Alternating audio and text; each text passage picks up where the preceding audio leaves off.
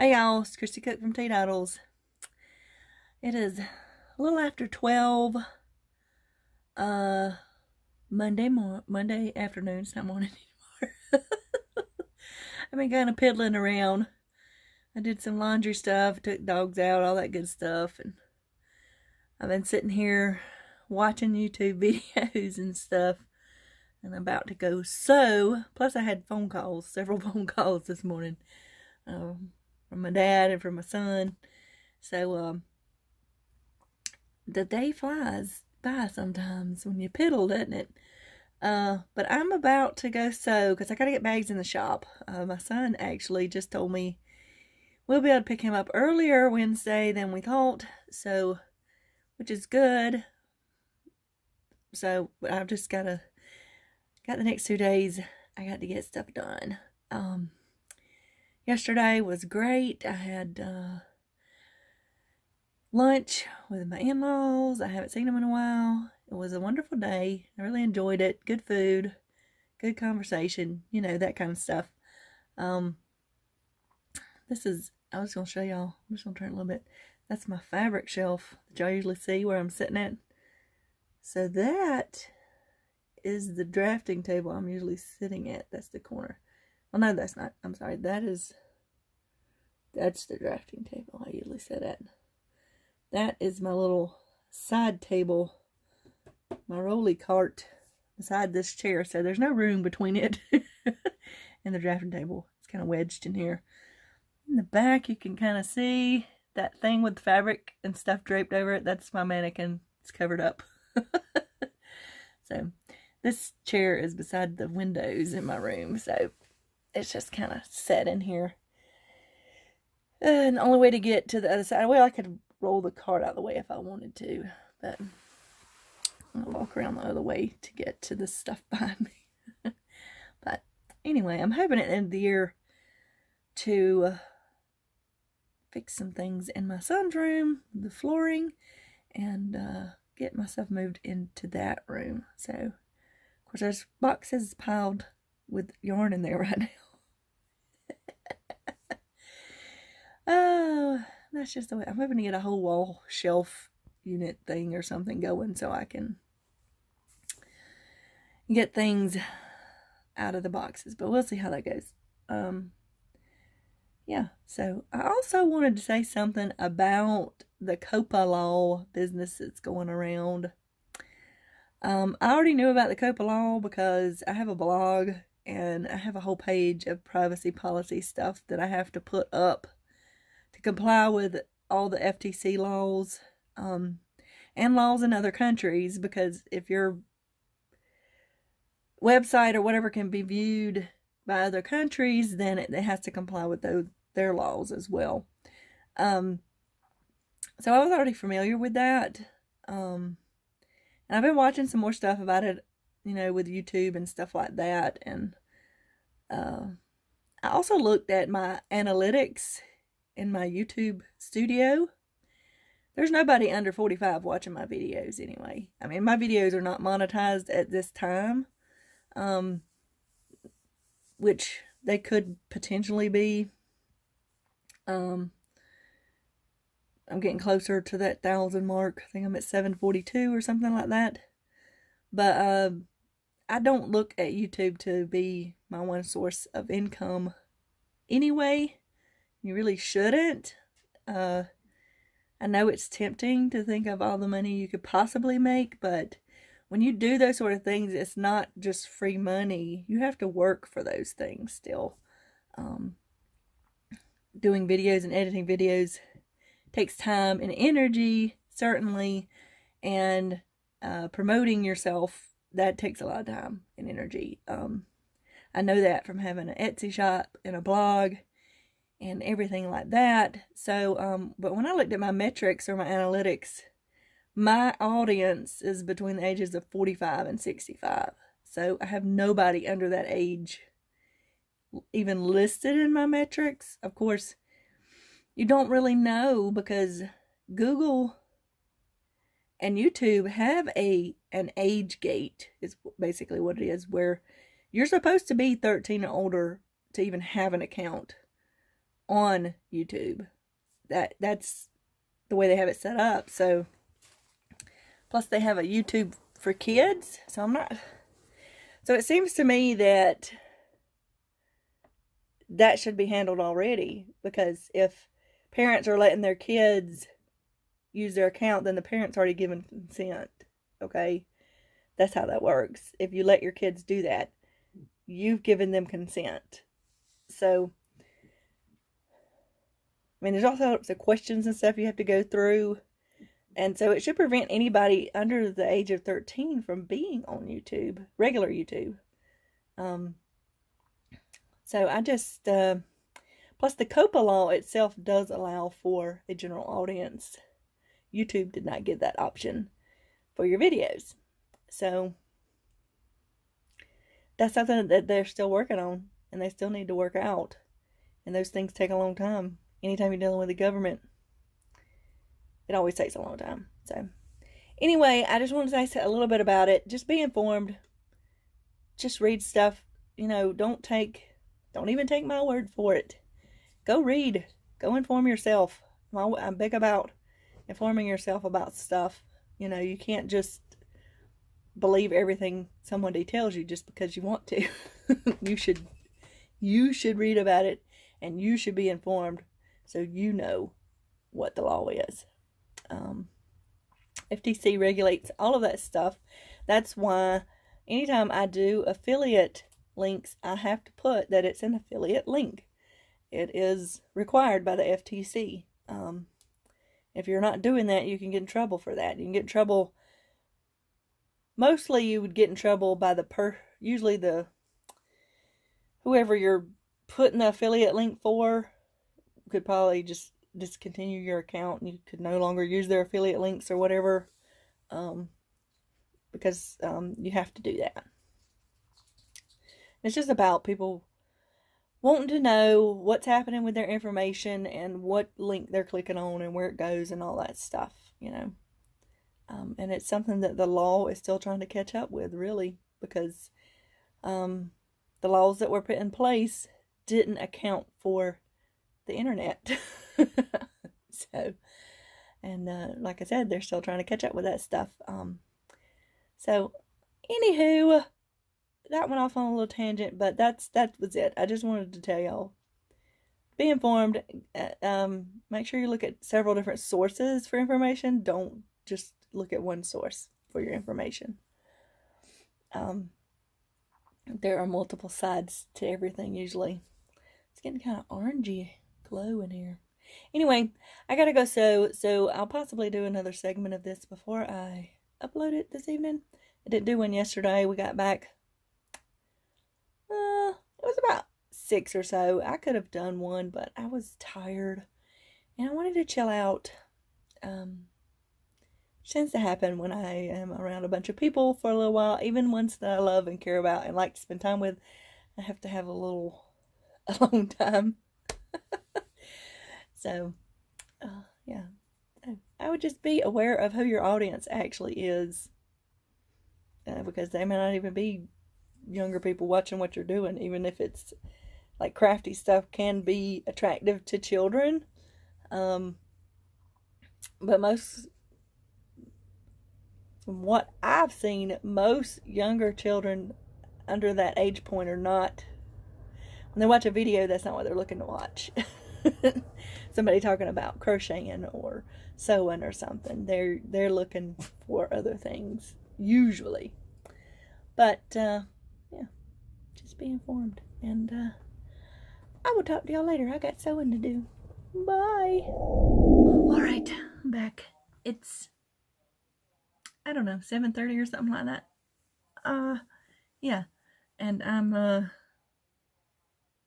I did get some sewing done and other stuff done. I had to do a blog post today because it was time for the final challenge in my maker finish along. And I had to do a newsletter because I didn't do one Sunday since I was gone all day. So I had to do all those things. Yeah. And like I said, I've talked to my dad several times a day and I talked to my son. Uh, uh, just, you know, the day piddles by before you know. Um, and I'm not wearing a crochet item, but I was going to show you one. This is not one I made. This was. This is a hat.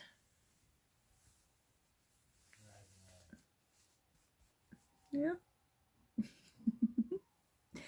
this was from my, um, I'm trying to remember if I did this at the beginning of this year or the end of last year. I think I did it at the beginning of this year. It was a maker, um, what am I talking about? Maker It was a, a, hat swap. You would crochet or knit a hat uh, for a partner and send it to them.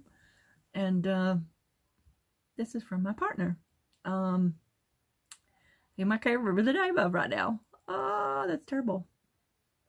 Uh, I'll try to, I'll look her up and put the link down below so you can go check her out. Um, I think she has an Etsy shop where she sells her crochet items, I believe. So, uh, yeah, I think it's something like covered in crochet for some reason. That's what I'm thinking, but that could be wrong. So just check below for the correct link, please. um, yeah. So there, that's my crocheted object today. It's not one by me. It's from my swap partner. Um, and I finished a couple more ornaments, which I got to go ahead and get that tree decorated, but it'll be, uh, I don't know what day it'll be. It'll be a day. Here is my s'mores ornament. It's a little wonkily squishy, but that's how real s'mores is, isn't it? In the pattern, she, she said to, like, steam these or whatever you do to, to make them lay flat. Uh, I just chose not to do that. Um, and I kind of like him like that because it looks more like a s'mores to me. So, and then I also made this little mitten with a little snowflake in the middle uh, for an ornament. I, uh, looks the same on both sides on in the pattern you make two sides and crochet together stuff it a little bit but I didn't I didn't want to do that. So I just made one. I just made the one side. And it can hang like that on my tree. Um, there was a couple of other there's one with the little eyes what is that kawaii kawaii kawaii face? Something like that and the smile. Um, I just decided to do that one. So, uh, and I did knit yesterday on my scarf that I've been knitting on with the Mon Mandala um, ombre, but it's in the other room. So it did change color. It's not really, you know, it's not that much different than it was the last time I showed it. So I knit on that on the way to uh, my in-laws yesterday and on the way back. So, um, yeah. And then, so, oh, if, if you hadn't already noticed, uh, I put stuff on sale in my shop. Uh, everything is either 10 to 10 to 20% off. Um, everything, even my stitch markers, are at least 10% off. Um, there's some things I marked at 15% off, and then the stuff that's been there for a while that has not sold, I marked at 20% off. Um, and my pattern for my Bumps and Scales cowl, shawl, my Bumps and Scales shawl crochet pattern is on sale for 50% off again. And that is started today through December 2nd, okay? I am putting more bags in, in there. It's a little light right now. Um, but there's more coming. It's by the end of Tuesday, I should have stuff in there updated. Um, and it will be, the new stuff will be 10% off. Um, and then I have a coupon code that you can use. You can get free shipping if you spend $50 or, or more. So that's what's going on in the shop right now.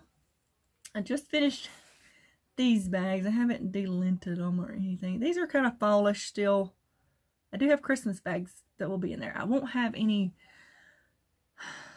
won't have any quilted maker bags in Christmas prints. I'll just have the drawstring ones. Uh, the drawstring makers and the mini makers. And then I'll have, um, what do I got over there? I may get some zippered, uh, quilted zippered uh, pouches with the Christmas prints in there. I don't know that I'm going to get them in there before the end of the sale. Okay. But I will have the Christmas bags in there before then. These bags, some more totes. That will be coming. Okay. So this is one bag. It has, I had a little bit of the swirl print and so it's on the bottom. and then it's got this uh, buffalo check, buffalo print on the top. And then it's got this moon and stars print on the inside with this kind of wood print on the pocket. Um, of course, it's got the D-ring inside and, and the handle and it's zippered. And I will be putting some little leaf uh, charms on the, the, the zipper. So there's that one. And then there's this one, which is the mason jars with the fireflies in it and the little checky pattern. Although, I believe someone's already claimed this. So, uh, it has the maps print on the inside and that flannel stripy stuff. And then I have this one, which is the same check that's on the bottom of this, and then the buffalo plaid that's on this. Uh, so yeah, these are all quilted. This one's quilted along in some of the spaces in there. It has this greenish, uh, it kind of matches the tone on the outside on the inside and it has uh, this fabric for the pocket. So those will be in the shop and they'll all have um, uh, charms on the zipper coordinate. Okay? And then I have well, let's see if I can show you just the, these are ones that will be pockets zippered, but for now, I know I will have drawstring maker bags with the pockets and then the mini maker bags in these prints. So this is one print that'll be coming up. It's got the animals and the little station wagon with presents or trees on it. So that was fun. And then we've got the fun uh, Alexander Henry Christmas, the Scuba Santa print. You can see more of this in the bigger bags, though. Um, it's a really a fun print. It's got reindeer and scuba suits, too. uh, and then I have this print, which is kind of interesting because it has a bear with a scarf. It's got like a Santa Claus head, but it also has a dreidel and a Christmas tree and presents and skis. So I, I don't know. it's interesting print. And then I have this one with the deer with different plaid prints and the wood background. And I have this one with the kitty cat skin and sweaters and hats. And y'all, I found a dog print to match this. So I'm hoping I'll get those cut out too before and get them in the shop.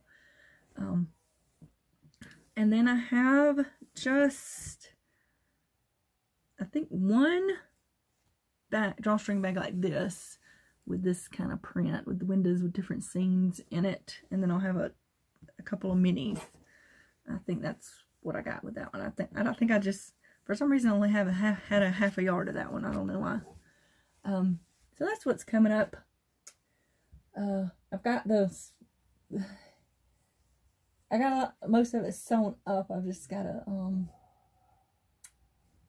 I gotta do some bands for the top and get my drawstrings in. So, and then, uh, those totes I showed the other day will be coming up. So, got a lot of stuff coming up in there. Um, hopefully tomorrow I'll get more sewing time in than I got in today. it was kind of a weird day, back and forth day. In the morning, I got to get up and ride with my husband to pick up my truck, which is finally fixed, except for the air. That's something he's still got to do part of. They got to, but it, you can still drive it. And the wheels, stuff that was wrong with it's all fixed now. So, yeah, I'm looking for my water. It's way over there. I don't have to interrupt this. So I'm to keep on. all right. So, um, that's pretty much been my day today. Um, did enjoy some pie leftovers and monkey bread leftovers. For all those on Instagram who said they were coming to get some, um, you're gonna have to fight my husband for that because uh, that's his. Uh, he really likes that stuff. So, um, I like the pie better, but. Uh, my pie crust turned out really good. It was crumbly though. You couldn't really cut a slice of pie. It was crumbling. So they called it pecan crumble instead of pecan pie. But it was it was really good. It turned out good.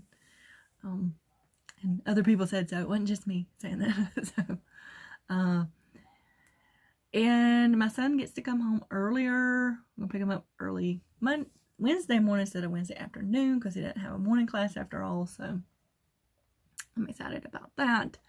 Uh, what else? Hmm, talked about shop, shop sale. Oh. Oh, I was going to show you right quick. Dollar Tree has $4.95 flat rate shipping through the 30th, I think, or the 29th. I don't know. It's like through Black Friday, I'm pretty sure. So that's flat rate shipping, so you get it shipped directly to you for $4.95. You can always have it shipped to the, your local store for free, but I just, if I can have it shipped to me, I prefer that. I just don't live in town. So, um, I was going to show you, they do still have yarns. I saw some new yarns up there too, but I also have other things. I ordered all these wreath, wreath frames. They were a dollar each. I thought I only ordered four. But I got eight. And then I looked back at my ticket and I had eight. I don't know.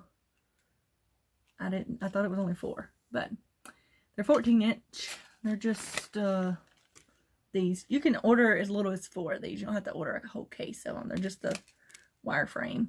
I got some things I want to do with that. So that's for projects coming up next year. So I ordered that. And I ordered these when, um, the last time they had $4.95 flat rate shipping. So this is I ordered a whole case of these because you could order less, but these are all tiny wooden crates.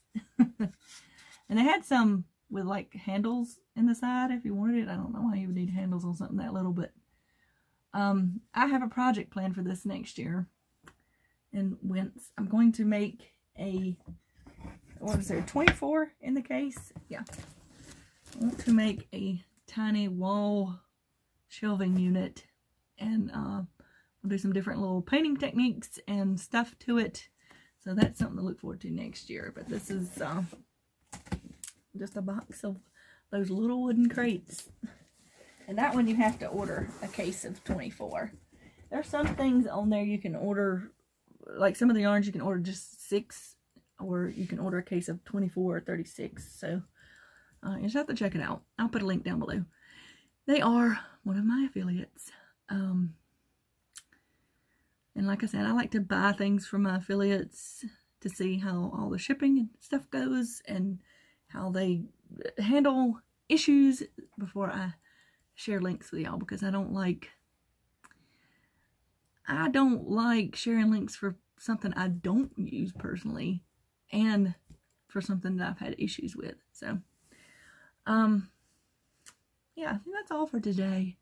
I'll see y'all again tomorrow. Um, I don't have my coffee cup today, Daisy.